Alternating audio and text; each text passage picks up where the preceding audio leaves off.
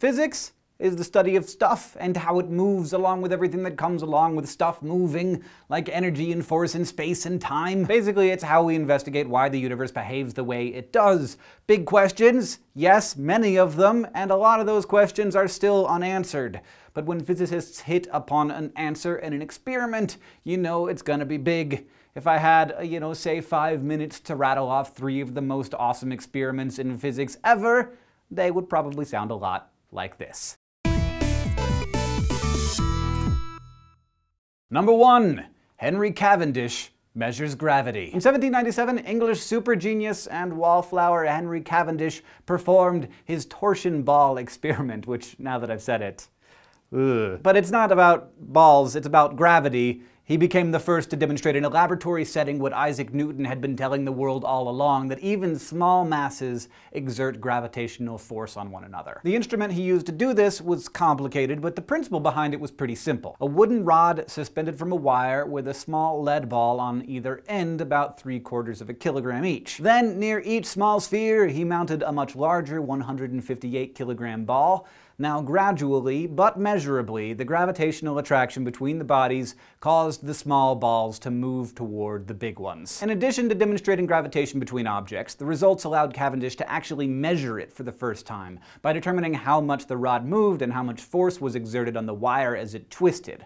From this, he was able to extrapolate all kinds of things. Perhaps most importantly, though, is what's now known as the gravitational constant, the figure that's actually used to calculate the gravitational force between any two objects. Number two, Thomas Young makes waves. Less than 20 years after Cavendish, another gifted Brit, Thomas Young, revolutionized how we think about light with an experiment that today is repeated in classrooms the world over. Back then, physicists were puzzling over how light moved, as a wave like sound does, or as a beam of particles, like Newton argued. Young thought Newton's particle theory didn't explain much of light's behavior, like how it refracts through a prism or the atmosphere, so he wanted to put the particle theory to the test. He covered a window with paper and then poked a small hole in it. He then bounced the beam of light that came through that hole onto a mirror and then held a thin card up to it edgewise, which diverted the beam into two. And on the wall, the beams projected alternating bands of light that looked a lot like the pattern made when waves of water meet,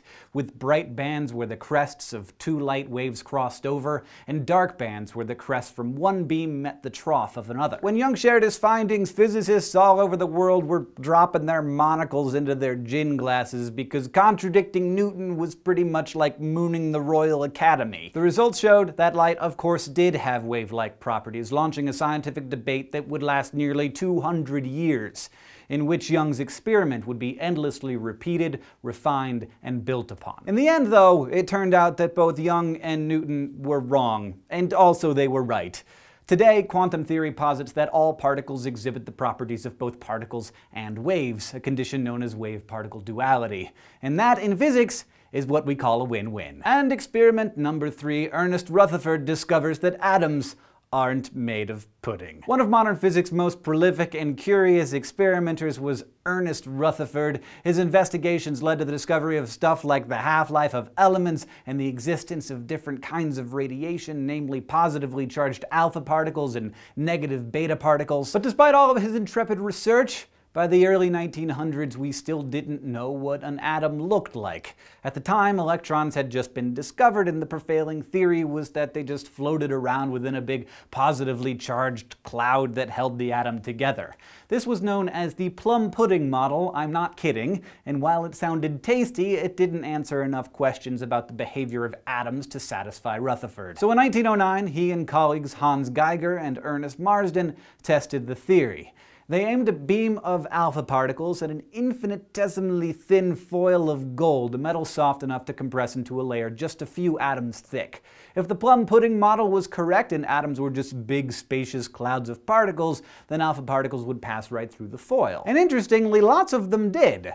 But many of them did not. They bounced off at sharp angles, sometimes lying right back at the source of the beam. Rutherford concluded that atoms must have a small compact core, a nucleus, with a net positive charge that deflected the alpha particles. And rather than floating among the positively charged material, the electrons must be moving around it at a distance. This led directly to the atomic model that we know today and its principles form the foundations of nuclear physics. Thank you for watching this episode of SciShow. I'm sure that we missed some extremely important physics experiments, and you are welcome to talk about those in the comments, and maybe we'll do another one of these sometime. And if you want to keep getting smarter with us here at SciShow, you can go to youtube.com slash scishow and subscribe.